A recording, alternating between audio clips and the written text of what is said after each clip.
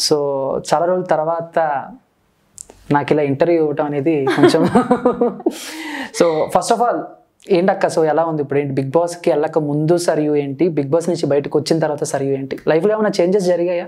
One వీకే కదా. ఎంత పెద్ద చేంజెస్ ఏం లేవు అంటే చాలా మంది బిగ్ బాస్కి వెళ్తే నేను ఇప్పుడు ఉన్న దానికంటే ఇంకొంచెం ఎక్కువ మందికి తెలుస్తాను. కొంచెం ఫేమ్ ఇంకా పెరుగుతుంది అని చెప్పేసి వెళ్తూ ఉంటారు కదా. సో అలా నీ లైఫ్కి సంబంధించిన వరకు బిగ్ బాస్ హెల్ప్ అయిందంటావా? లేకపోతే నెగిటివ్ ఏమన్నా తీసుకొచ్చిందంటావా? డెఫినెట్లీ పెద్ద ప్లాట్ఫామే. ప్లస్ నా ట్రూ సపోర్టర్స్ ఎవరని నాకు అర్థమైంది. Okay.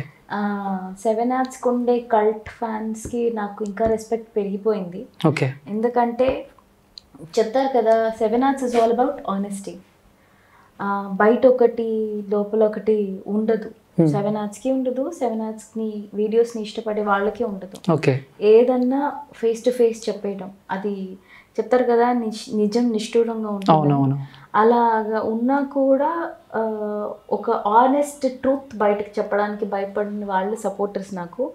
I'm really thankful to them. Plus negative ఏమైంది అని అంటే చందు ఇది చెప్పక తప్పట్లేదు నాకు. పర్లేదు అక్క చెప్పచ్చు. మీడియా అంటే నాకు చాలా రెస్పెక్ట్ Hmm. జర్నలిజం అంటే ఒక నేను టెన్త్ చదివేటప్పుడు I wanted to be a journalist అంత రెస్పెక్ట్ ఉన్న నాకు ఇప్పుడు కొంతమంది థంబ్నైల్స్ ఏది పడితే అది చేసేస్తున్నారు.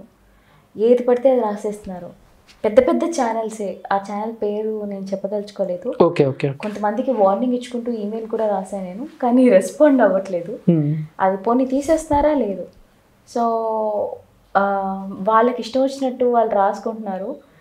లే పెన్కు ఉండే స్ట్రెంగ్త్ చాలా గొప్పది. చాలా పవర్ఫుల్ పెన్ పెన్ అంటే. అవును. దాన్ని గన్ను కంటే పవర్ఫుల్ ఎగ్జాక్ట్లీ ఎగ్జాక్ట్లీ సో దాన్ని